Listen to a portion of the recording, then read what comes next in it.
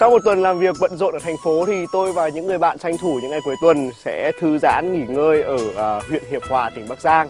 Và rất may là tôi gặp chú Trụ, chú Trụ hứa là hôm nay sẽ chiêu đãi tôi một món rất đặc biệt ở đây đó là món gỏi cá mè. Mà trước hết thì uh, chủ cho tôi sẽ phải uh, câu cá trước đã. Mà sao mình lại chọn câu cá mè? Cá mè thực ra là để làm gỏi mới ngon. Bình thường câu một con cũng mất bao lâu? Tùy hôm. Nhưng mà với ao nhà mình ấy, thì câu nó cũng thuận lợi hơn.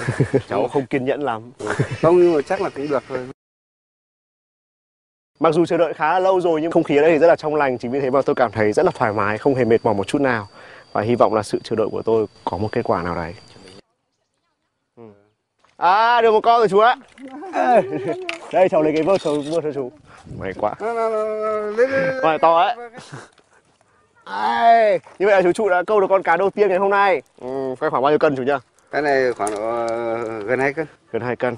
Mình câu thêm con nữa chú nhá. Rồi, câu thêm con nữa rồi ê thôi bắt đầu có chú chú lấy cho cháu ấy. Dãy kinh. Nhưng mà có vẻ là bé hơn của chú trụ. Làm gỏi cá mè thì có chú ý gì khi mà làm con cá này ạ cá mè là cái trắng thường là người ta không đánh vẩy thế nhưng mà khi mà làm gỏi đều phải đánh vẩy bóc cái da con cá ra. Đấy, bởi đây là tanh thế sau đó lọc. Lọc sâu sau khi cá được thái ra những miếng như thế này thì một bước quan trọng của việc làm gỏi cá mè đó là người ta sẽ làm sạch và khô cá bằng uh, giấy.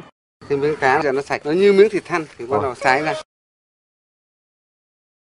Cái quan trọng nữa là tất cả các loại lá của nó, đinh lăng này, xương sông này, lá lốt này, sung này, quả sung này, lá mơ này, mấy chục loại lá thì tất cả lá vườn. Chú ơi chú thái nốt cá nhá, rồi. cháu đi hái lá. Thôi rồi cháu đi, cháu ra vườn để chú đấy.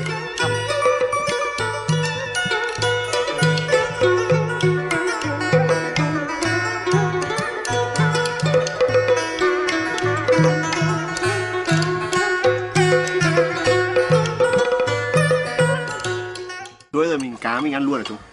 Cá này là nó khô hết rồi, bây giờ mình đưa vào đĩa này.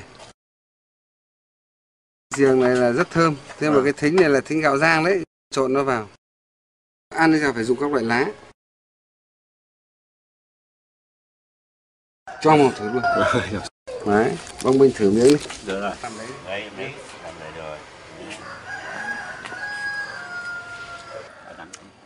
Gỏi cá mè lúc này thì không có một vị tanh một chút nào bởi vì uh, có trộn với cả uh, giềng này và thính và khi ăn thì thịt cá rất là chắc và cảm giác rất là sạch ở trong mồm. Một điều tôi thích ở món này đó chính là uh, cái nước chấm đây ở đây người ta gọi là hạt. Uh, ăn rất là bùi chua chua chát chát. Ừ, hơi ngọt. Hơi ngọt được làm từ đầu cá mè